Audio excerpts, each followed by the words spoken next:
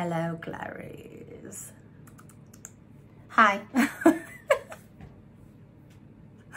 Hi, guys. Welcome back to another episode of What the Smut Book Review. Book Review. This rabbit is testing me so hard, y'all. Okay. Hi, my name is Candace and I'm your host. Thank you so much for joining me for another episode. Um, for all of you watching, if you can see what my shirt says, and you know what this is from, without Googling it, don't Google it because I that's cheating. But if you know what this is from, put it in the comments and I'm gonna pick a random winner to gift with like a book or an ebook or something. Okay? You see how badly I'm jonesing for comments and I'm willing to bribe you guys to give me comments? I'm not above bribery. I will do it. Um, so again, hi, my name is Candace and I'm your host. If you haven't tuned off already, you done fucked up. uh, but in all seriousness, thank you so much for being here. I really appreciate it. Uh, in today's video, we're back with more Black Dagger Brotherhood. Why? Because it's the only fucking book I've finished out of the three that I was reading simultaneously. How does my brain do that? Answer, it doesn't. Hence why this is the only one we're reviewing today because trash. Um, so in today's video, we will be reviewing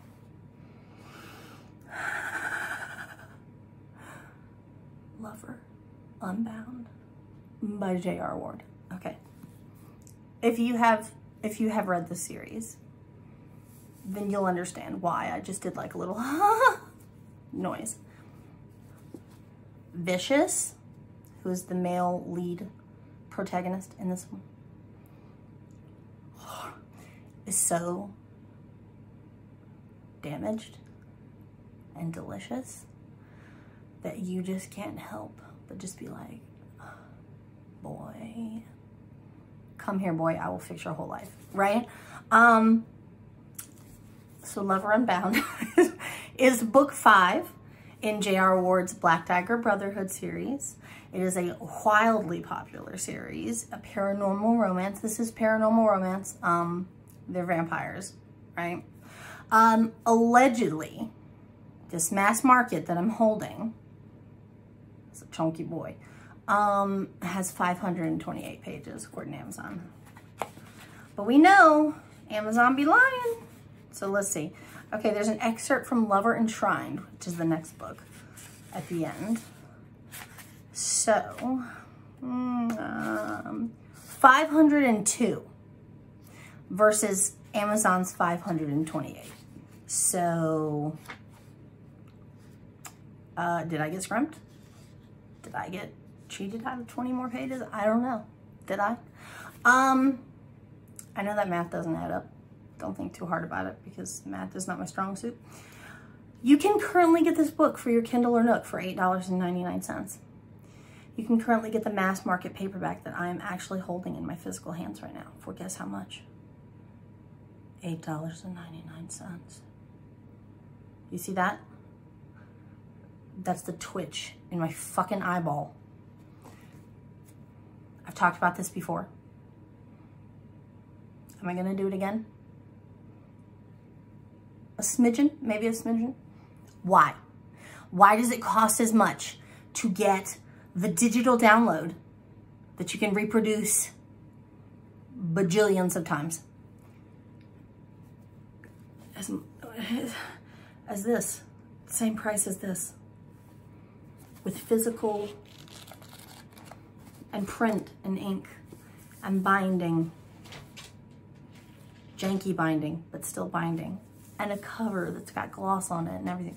How is this the same price?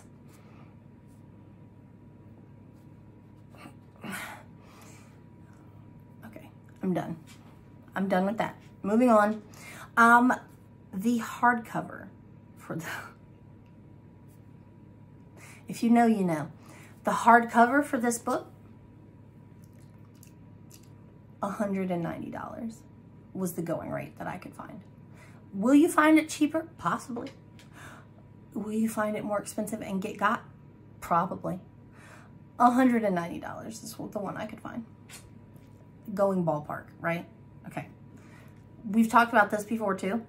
If you are not familiar with this series, go back and read from the beginning. Don't start here.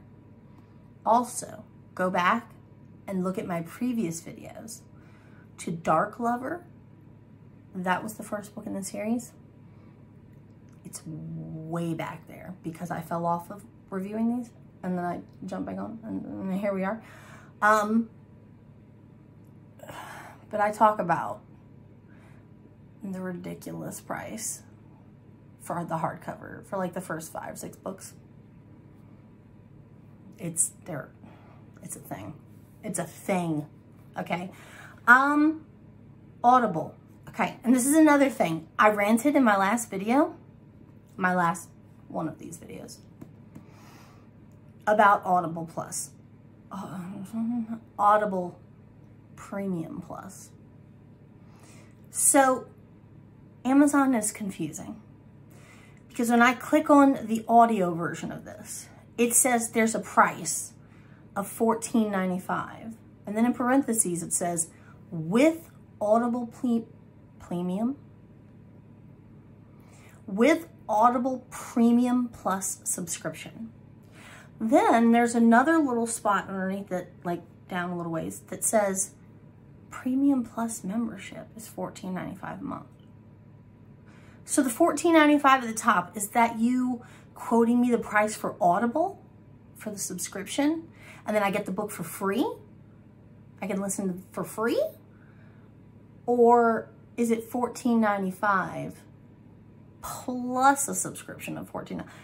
Because you would think if it was get the subscription and you read these for free, that you would put free with Audible Premium Plus subscription.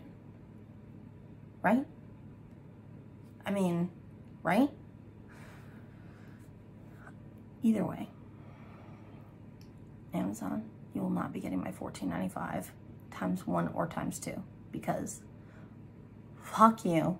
You get too much of my money as it is, okay? I literally order everything from Amazon. So I'm gonna read you guys the blurb, which is another thing. The person who does the editing for the blurbs for these and many other authors. I've seen this like across the board. This is like a problem, at least for me. Where I go to read the blurb for a book or like the synopsis, I'm sorry, synopsis, and it's like all one big paragraph, no spacing, no like, and like run on sentences and like it just, it, it mind fucks my brain. Get a better editor. Get a better, whatever that person's called, is if it's not editor or something else, who inputs these, y'all have not heard of coding, like close bracket, BR, close bracket, like, come on, man. I don't do coding. I coded MySpace when I was on MySpace. We're not going to talk about how long ago that was and how, how that is in conjunction with my current age. We're not going to talk about I did coding on VF, a whole nother thing. If you know what VF is, put that in the comments down below because if you're like VF alum and we're kindred spirits in more ways than one, obviously, because you're here about this book, I might give you something for free too. Uh, so like I've done a little bit of coding and even I know how to put a fucking page break in to separate outlines when you're inputting information into a website.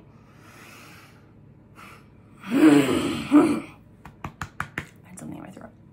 That wasn't a growl, that was a clearing of the throat motion. Um, do better. That's all I can say. Do better. Because when I go to read a synopsis and it's like one big, giant, janky run-on sentence that's this big, it just makes me want to click off. It makes me immediately want to just like, boop, mm, nope, not interested anymore. Too much work. Can't, can't be bothered. Okay, right? So I had to do a little bit of my own editing for this, which again was completely, if you know anything about my videos and anything about me personally and my life, I do a lot of things that are wildly unnecessary and just make stuff harder for myself because I don't think ahead and I don't use my brain, which again, aforementioned trash. Uh, so I had, I put it on paper, the, the blurb, and then I had to edit it, like edit it in Word so that it was in a format that my brain could process as I read, which was, again, entirely unnecessary because I own the book that has the blurb on the back.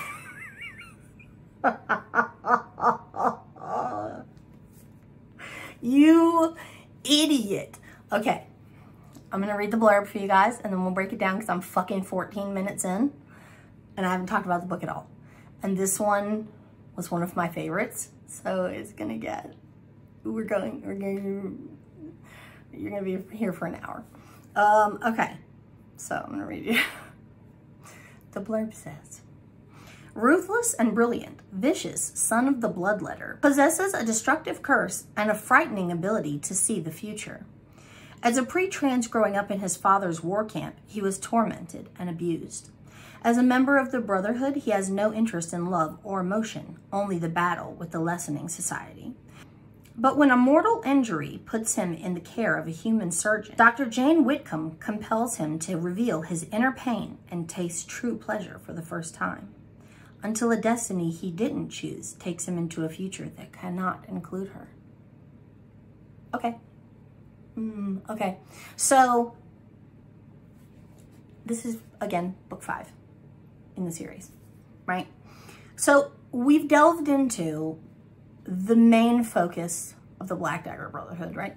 The Black Dagger Brotherhood is a band of immortal vampires, warriors, who were specifically bred to uh, protect the rest of the vampire race against what is known as the Lessening Society. The Lessening Society is a group of slayers who have been created from this gross um, entity. I, I, don't, I honestly don't know what he is, the Omega, um, where he like puts a little bit of himself inside or uses a little bit of himself to create uh, vampire slayers, but they're they're like people who have been abducted and then inducted into this society. Um, they go through like a physical transformation and their main focus is to kill as many vampires as possible as, you know, if you're a slayer as you do, right? Um, they're gross, they're disgusting, we hate them, right? Um, we're not talking about Buffy type slayers. We're talking about gross, whitewashed, white hair, white skin, smelling of weird talcum powder, like a sweet baby powder scent, which I love, I fucking love that smell. But that's a side note that's irrelevant to this. Um, but they're just bad, right? They're bad dudes. We love the Brotherhood more. We, we, we, we love them. Uh, the Black Dagger Brotherhood currently only has a handful of legitimate members. They have inherited the, the role of being in the Black Dagger Brotherhood because their line of vampires that they descend from were specifically bred to be like bulkier and huge and rough and tough and right? Okay. So the book opens with Jane first, who is the female protagonist. She's the heroine of the book. She is a human woman. Um, in the beginning, she is like a very young, like a child, I don't know if she's like preteen or something, like she's, she's young. And she, it's describing like her home life where her parents are very uh, hands off. She grew up like uh, un, basically unloved, unwanted, um, but in a prestigious upper middle class, maybe even not middle class, but upper class. Um, household where everything's prim and proper. Your parents don't talk to you at the dinner table and your dad over breakfast reads the paper and you're not there, right? You're invisible. Um, she grew up with that. She had a little sister, Hannah, who uh, on Jane's birthday overnight mysteriously died in her sleep. Apparently it was like a congenital heart defect uh, that killed her little sister. Prior to um, her death, Hannah came into her room, like snuck into her room with like a Ouija board and they played on the Ouija board and it it kind of like um led you to believe that Hannah was to die ahead of like before before it happened you knew it was to happen because uh, they asked like will I get good, good gifts for Christmas? And for Hannah it said like no. And then it was like will I get married? No. Will I have kids? No. Okay something's wrong with this board. It's clearly bullshit right? It's broken. Um Jane does it. It moves. Will I get married? Yes. What's the name of the husband that I will have? And it spells out the name Vicious, but spelled very funkily. And she's like, okay, this is creeping me out and it's weird. Let's go to bed. Overnight, her sister passes away. The next day, she wakes up. She realizes what's happened. She's bereft. Hannah was the only light in a very dark house for her. Um, now that Hannah's gone, her, she has like no happiness left. Like her, she's just there. And she's like a shell of herself. As she grows up, um, her parents die in, I can't remember if it's like a plane crash or something. Um, she becomes a doctor. She goes through med school. She becomes a doctor. She becomes a surgeon. She's working at Caldwell General Hospital or something, I think. And she's now like uber good at what she does. She she has like a little side hustle where she works in like genetics. Because of her sister's untimely death, she loves the study of genes. Like she likes to see what makes up people and how they tick and like what causes things like congenital heart failure or whatever, right? Um, so that's like her little side pet project that she's obsessed with. Uh, they don't focus too much on that aside from like touching on it here and there um, as it pertains to her eventually coming in contact with the Black Dagger Brotherhood and wanting to study them as a vampire race because she's like, whoa, this thing exists, right? Um, Jane is the least complicated of the two main characters. Uh, her story is very straightforward, very, like, it's detailed, but not ridiculously detailed that you have to, like, sit back and go, damn, this is how she turned out the way she was. Like, you, you know what happened to her that, tur that turned her into this person that she is today. Vicious is a whole other animal, okay? Um, Vicious is the son of the Bloodletter, who was like the strongest way back in the day, way back in the day, because the Vicious is very old. Um, he was the strongest and most cruel warrior that the race has ever seen, right? He was the leader of um, like a training camp for vampires, for vampires who eventually wanted to become brothers in the in the Black Dagger Brotherhood. A lot of them would not make it. A lot. He he the the things that he did for fun were so grotesque and such a violation that Vicious growing up as a pre-trans in that camp royally fucked up his head. Like, royally. And not just his head, his body as well. There, uh, something happens within the book that um, leads his father to uh, like partially castrate him. So his like downstairs area is kind of mangled. Like it still works just fine, ladies. Um, but it's something that's that he's embarrassed about and that he doesn't share with many people, right? Or anyone really. Um, so Vicious has had a little man crush on his BFF Butch, who used to be a human. If you read the last book, uh, what was it? Lover, um, was it Lover Revealed? Lover, Lover, it wasn't Lover Unveiled because that's the next one, right? No, that's Lover Enshrined. It might, it might have been Lover Unveiled. I can't remember. Go back one video, one Black Dagger Brotherhood video. I know it's that one. Um, that's Butch and Marissa's story.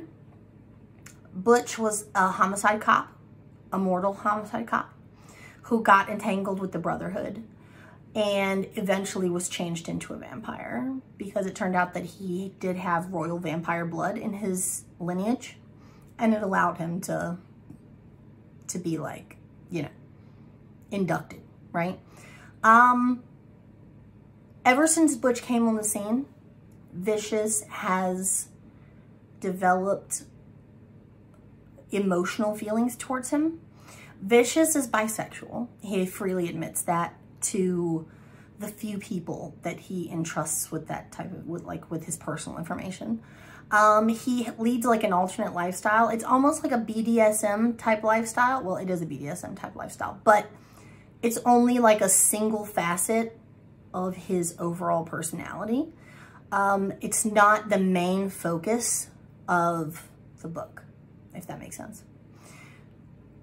He has like a separate penthouse where he goes to be with women to get his rocks off and to like get out his excess aggression where he basically ties chicks up and he like beats them and whips them and whatever. It's consensual, don't worry. Um, but he has been developing feelings for Butch. Butch is now mated to Marissa, a female vampire. Uh, and since that's happened, Vicious is just so slowly starting to spiral downhill. He's out hunting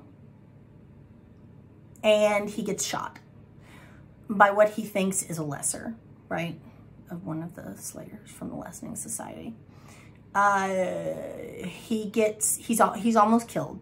The bullet is like a funkily shaped bullet that isn't normally known, but they just chalk it up to like, oh, the Lessening Society is always coming up with new ways to kill us. Uh, it shoots him in the heart. He's on death's door because yes, vampires can be killed. It's difficult, but they can be killed. Uh, he gets rushed into, he gets found and rushed into the hospital where Jane operates on him. When Jane operates on him, Jane realizes that his heart has is, is like anomalous. It has, it's a six chambered heart as opposed to like a four chambered heart or whatever. Um, and so she sees him as like a guinea pig that she wants to study. But before she can do that, he pulls through surgery, obviously, because she's very good at what she does. And he like absconds with her. He kidnaps her. Okay. Um, Butch and a few of the other brothers realize what's happened to Vicious. They track him down. They realize he's been shot. They track him down to the hospital. They go in. They wipe everything that they can find from the system about V's treatment, right? His surgery. Um, they wipe the memory of all the nurse nursing staff and assisting staff. And Vicious says, no, don't wipe her memory. She's coming with us, Jane. He kidnaps her. He takes her back to the mansion that the Brotherhood shares. She employs her skills as, as a surgeon a few more times for some of the other brothers who get into some scuffles. Um, and slowly over the course of the book, they develop feelings for each other while she nurses him back to health at the Brotherhood Mansion. So over the course of the book, they they fall in love with each other. He gravitates, he starts to gravitate away from Butch emotionally and latching more onto Jane. Um, unfortunately, his future is not his own. He has been told by, really, he's been ordered by the scribe virgin, which is like their goddess, their deity that they, you know, um, who subsequently turns out to be his mother.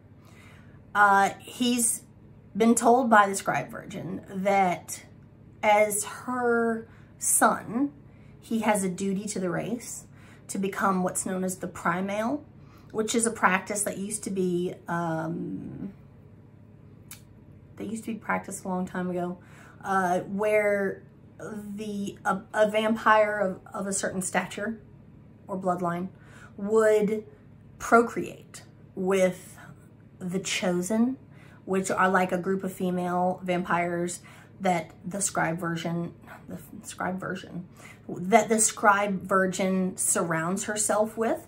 So there's the mortal plane and then there's the scribe virgin's plane. It's like a white nothingness, barren type realm that they can be transported to or that they can access, they teleport to, whatever.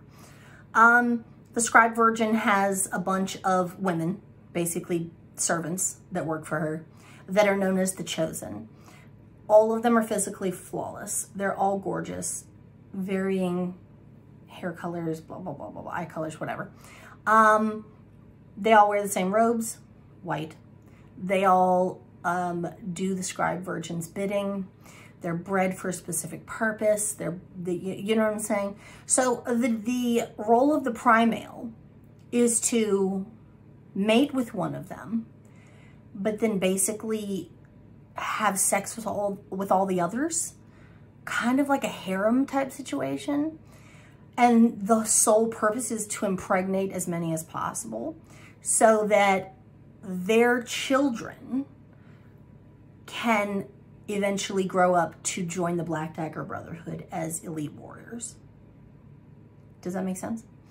This was a practice a long time ago and then it stopped. I can't remember why it stopped. I'm sure there was a good reason, but it just kind of stopped. And that's why the race, the group of brothers is now dwindled down to like five or six brothers because they've been killed off over time and they're not replenishing their ranks. They are doing like a training type program where they're pulling pre-trans from good families within the Glymera, which is like the, the elite upper class of the, like the upper class of the of Vampire Society.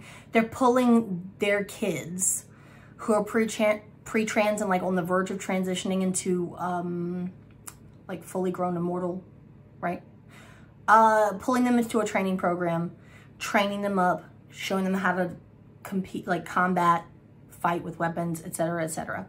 Uh, so that when they do go through their transition, they can act as like vampire police. So you'd have the Brotherhood, who's like the baddest of the bad, and then you'll have these guys who are not as bulky, not as muscly, not as strong, but stronger and more equipped than your average upper crust vampire and who can help the brothers out with the lessening society. Does that make sense? Um, so Vicious has been told by his mom, the scribe virgin, that that is his duty. He will do it or she will punish him in ways un, untold. Uh, so he's in love with Jane but he knows he can't be with Jane because he has a duty to the race and it's really fucking him up mentally and emotionally. Uh, Jane, because she was the surgeon who worked on him, has seen all of his flaws. She knows about the castration. She still finds herself attracted to him. It's not an issue. So Vicious has is like opening himself up in ways to her that he's never done with anyone else, including Butch. He eventually takes her back to the penthouse where he wants to prove his love to her, even knowing that soon, within the next couple days, he's going to have to erase her memory of everything that's happened, including his existence, and deposit her back into her own apartment and let her get back to her real life. Uh, he takes her back to his penthouse where he shows her how much he loves her and how much he trusts her by allowing her to tie him down and let her do naughty things to him. Um, because of the way that he grew up in the Bloodletters camp, it was a sign of if you allowed yourself to be restrained, uh, there were several several instances where he was forcibly restrained and terrible things were done to him, like rapey things. And so now he can't stand the idea of being like tied down or restrained in any way. He projected that towards his women for the longest. Now, to prove his love to Jane, he's allowing her to do that to him. And it works. And he like kind of frees something within himself, but at the same time, he's absolutely miserable because he knows he's getting ready to lose the love of his life. Uh, so they eventually, he does take her back. He wipes her memory. Uh, anytime she gets like a random thought that would be tied to something that happened between the two of them, she gets a really bad headache. Um, like really bad headache, like sharp pain shooting through her head. So she's she slowly thinks because her mind is so strong and she's trying to remember these things that happened, but that in her mind they didn't happen.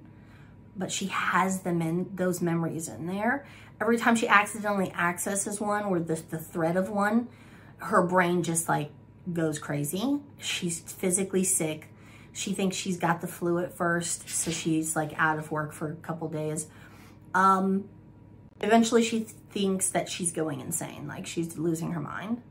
Uh, because she's dreaming about this this tattooed warrior with a goatee who like comes to her in the night and you know makes love to her and then he disappears and she wakes up the next morning when Vishous has had a moment of weakness and realize and like he's like I have to see her and he goes and has sex with her. And then he forgets to clean up behind himself if you know what I'm saying? And she wakes up the next morning no memories of like but like memories of a dream that what she thinks is a dream. But there's physical evidence down there that something did happen. And she's freaking out, thinking she's losing her mind. Um, I won't reveal the ending to like how everything comes together. But I will say eventually, uh, obviously J.R. Ward's like these, these stories do have a, an HEA, so they do have a happily ever after ending. Um, eventually Vishous is allowed to be with Jane because another one of the brothers steps up to take his place as Primale. And that is, that's Phury. Um, if you have read, uh, what the fuck is the book? Lover Awakened, I think, was Zsadist's book. His twin brother uh, is Phury. Phury, that's Phury with a PH. Um, Phury steps up to take his place as Primale. He ends up getting mated to um, a female chosen by the name of Cormia. Um, their book is the next one in the series, I think. And I think that's the one that has like the little excerpt in the back here that's Lover Enshrined, I think is the name. Mm, I don't know. I think.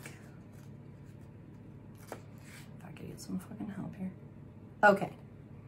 Yes. Yeah. So Phury and Cormia's book is Lover Enshrined, and that's the next book in the series. Uh, so I will be doing a review for that one when I read it. I have read uh, the first, I want to say like eight books in the series, and then I fell off because I moved and I stopped reading altogether for like a really long time.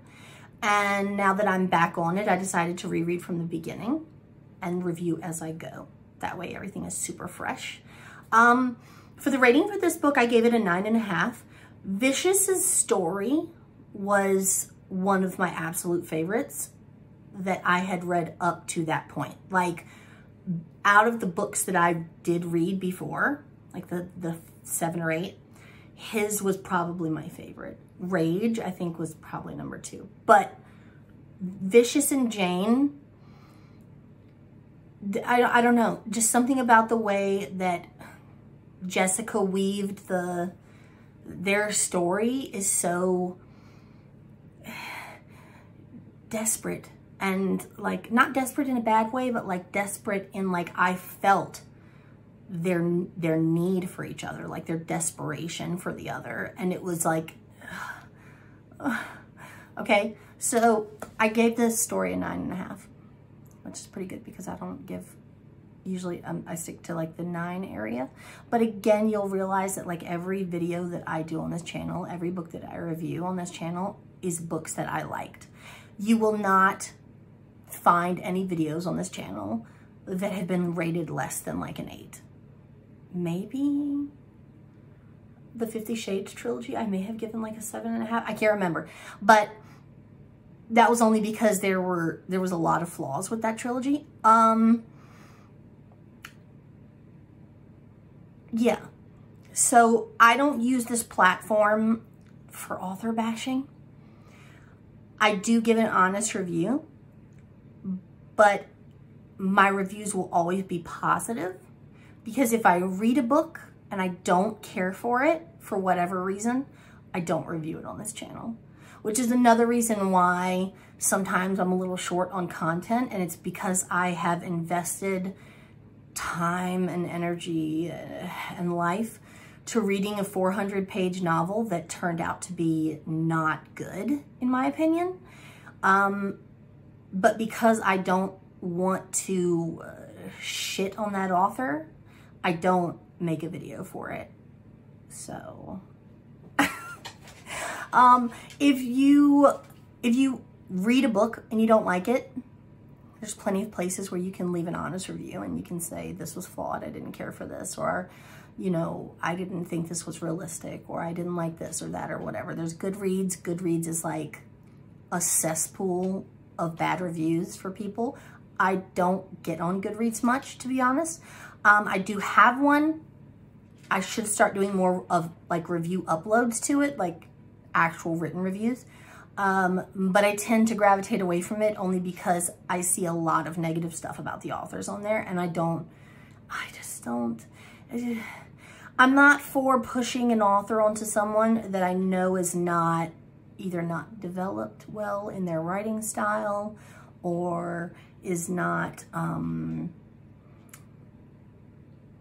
I, I, I, I don't know, like the, the, the concepts are so unrealistic that they can't be whatever. You know what I'm saying? I'm not, I'm not for pushing that onto people and saying, uh, this is trash or this author is garbage. Don't read this person. Like that's, that, that's just not my bag. Um, I use this channel to uplift authors that I like, authors that I've read and that I've enjoyed their books. Uh, I also use it mainly to allow you guys to get recommendations for books that maybe you haven't heard of or authors that are maybe in Kindle Unlimited and don't have a huge following and they're actually really good writers and and put out phenomenal stories that you will love if only you knew they existed. That's why I'm here. My quirky ridiculousness that's in between all of that it's just icing on the cake for you. right?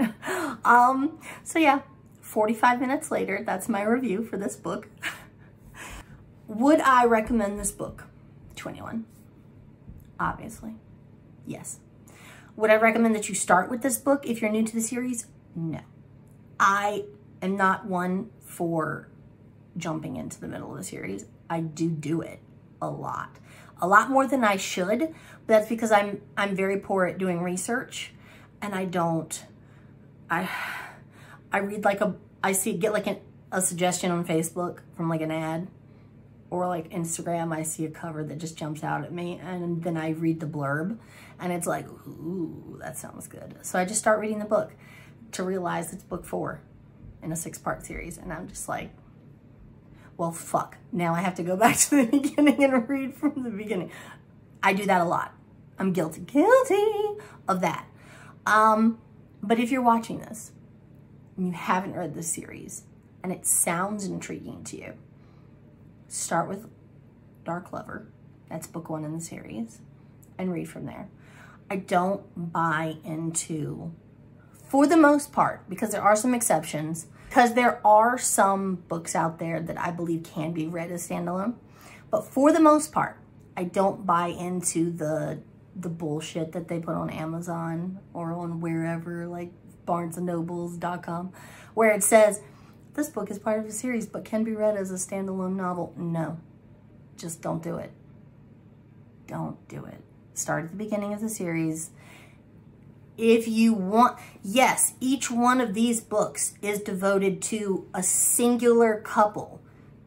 One man, one woman, or one man, one man, or one woman, one woman, whatever. But there's other people in the background.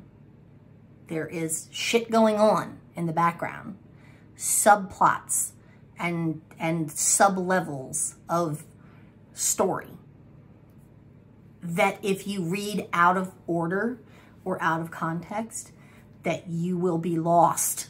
You will you'll be reading it and you'll be like, okay, like I understand what's going on with the main couple. What the fuck is happening with this person? Because what's that about? And they don't, they're not, it's not going to be explained to you. I mean, sometimes it will, but not all the time. So, I am not for reading books in a series as standalones. I don't do it. Uh, if I can help it, I will start at the beginning of a series and read in its proper order, uh, which is what I suggest to you. Go back to Dark Lover. That's Wrath's book. He's king of the vampires. Um, read from there and read them in order and see how you like it. The pricing is very um, average your, aside from the whole, why am I paying this much for a, for like a digital download as I, as I would be for a physical book.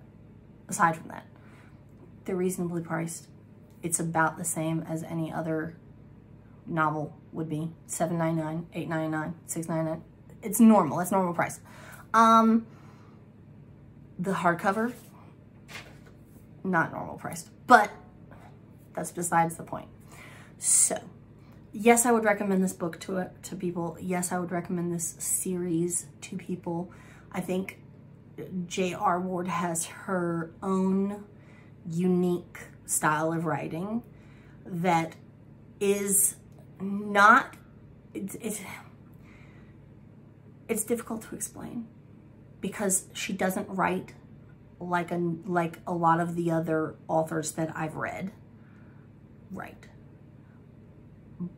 in terms of like language and, and, and dialect and that kind of thing. Um, and I can't think of another author ever that I've read, that I've read. Um, did I say right earlier? That I've, that I've right? That if I didn't, then I'm having like a, I'm having like a mind fuck moment. Uh, if I did say that, scratch that because I don't know what the fuck I'm talking about. Um, but she, she writes in a way that none of the other authors that I've read write. And it's not off-putting in any way it's like I can I cannot physically think of another writer that I have read that writes the way she writes. She's like singular and unique in that way. And it's good. It's very good. Like the series is the series is good. So, yes, I would recommend these books to people. I don't know why it takes me 45 minutes to say that. Yes, I would recommend that you read this series. I will be coming with uh, the review for Lover Enshrined soon. ish sometime at some point. Um, I'm going to very hardcore attempt not to fall off of this series again, but I do have to start um, going back to my IAD reviews and my Lords of the Underworld reviews and my Demonica series reviews. Like there, there's so many series. Anyway, I, I did, that's it. That's, that's my review. That's all, that's all I have. If you enjoyed this review and you like me and you like my channel, uh, please consider subscribing, insert thirsty emoji. Um, if you do subscribe, make sure you hit the bell so you get notifications when I upload a new video. I try and upload every week, usually on Thursdays. Sometimes I'll miss one because I'm a loser. Um, and then I'll compensate by uploading on Saturday. I, I don't know. It, it happens when it happens, but usually I upload one time a week. Sometimes more if I'm super excited about something. Uh, so yeah. If you would like, you can follow me on social media. follow me on Instagram because I fucking live on Instagram, y'all. Like, I fucking love Instagram. I have delved what I can only assume is probably like a toe's worth, like, you know, when you dip your toe into a pool, except for like the pool is the ocean. I'm like, I'm dipping my toe into the ocean of Bookstagram. And I love it. I love it so much. Like, I just love I'm sure there are areas that are very toxic to that environment as well, but I absolutely love um, almost everything about Bookstagram that I could that I've found so far.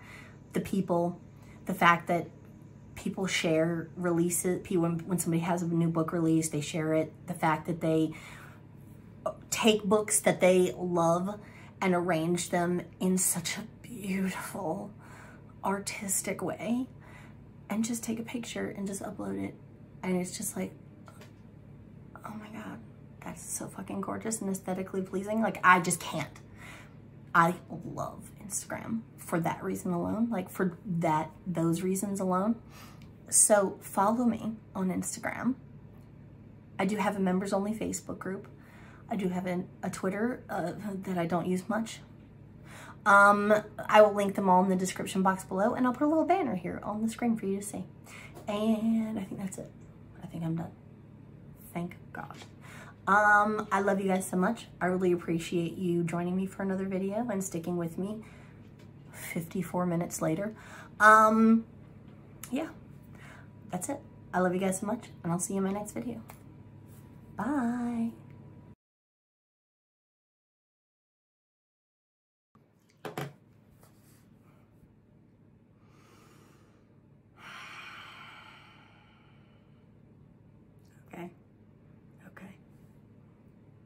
Are we ready? Okay, okay. We're trying out, I thought we were trying the blue light, but it doesn't seem very blue right now.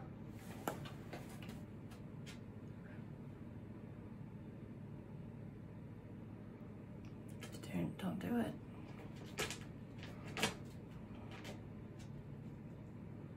Not today. Not today, Satan. Not today.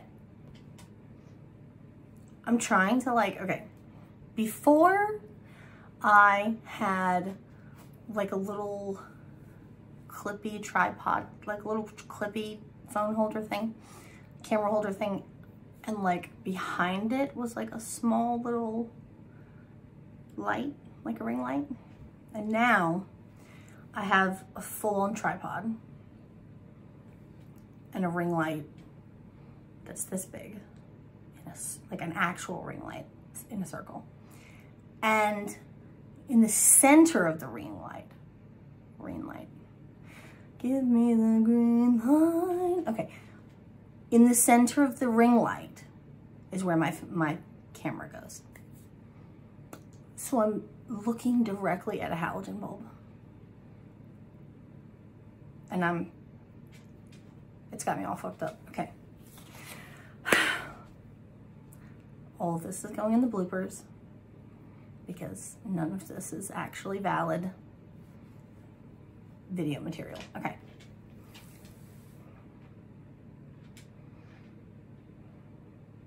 Like I want to wait for him to stop and chill, be quiet. but it's so random that I could be here all day waiting to record. Okay, we're gonna go. We're just gonna go because two minutes worth of, three minutes worth of bloopers already, and I haven't actually done anything. Okay. Possesses a destructive curse and a frighteningly, frightening? Frightening. but when a moral, moral, when a moral injury, but when a mortal injury,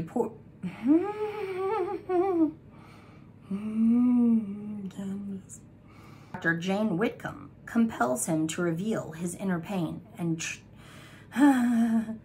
um, in the background, there is another story that's playing out. Uh, no, before I get to that,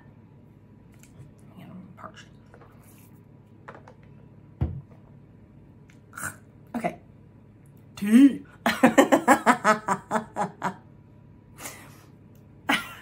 I did that. I did a TikTok where I compiled like 10 of the times that I've drank tea on camera and gone, it's in this cup, tea.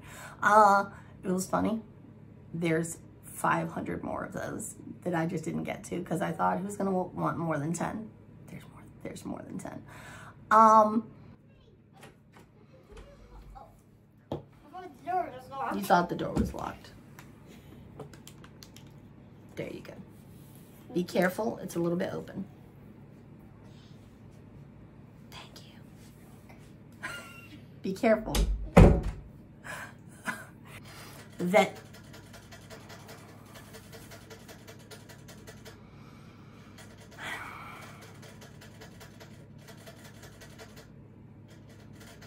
Are you fucking serious right now?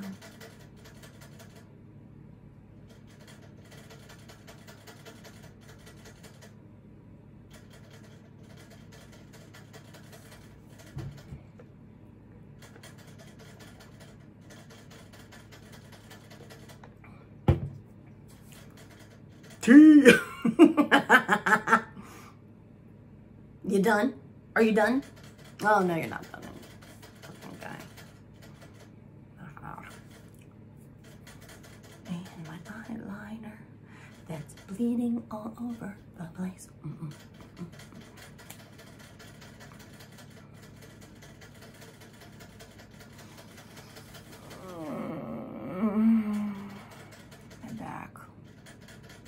My back hurts.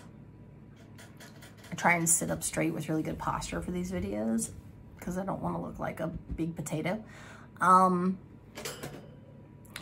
and I, once I like deflate from that posture, it's so hard to like stand up straight. I can't, I'm a schlumper. I'm a hardcore schlumper for life. Like I'm going to have a huge humpback by the time I'm like 65 because I'm just like all the time. Um, okay, I think he's done. So what, where the fuck was I at? I don't even know. Um,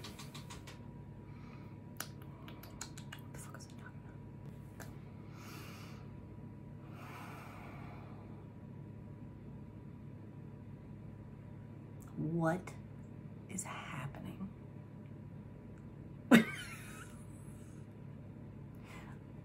Candace, Rabbit. Candace, what the fuck are you even doing? I am so all over the place and so like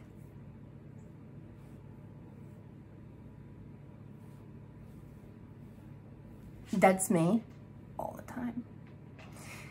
I could say it's just for like comedic relief for these videos, but that'll be a lie. This is just my personality. My poor child. anyway, um, I'm sure there'll be plenty of bloopers because I had like little flip outs at the beginning before I actually started recording, like recording, recording. Um, I fucked up numerous times reading the blurb. There'll be bloopers for this, I think. You'll be, if you come for the bloopers, you'll be happy with this. Um, I love you guys so much. And I'm gonna go because I'm gonna run out of storage soon and then I'm gonna wig out. Uh, I love you guys and I'll see you in my next video.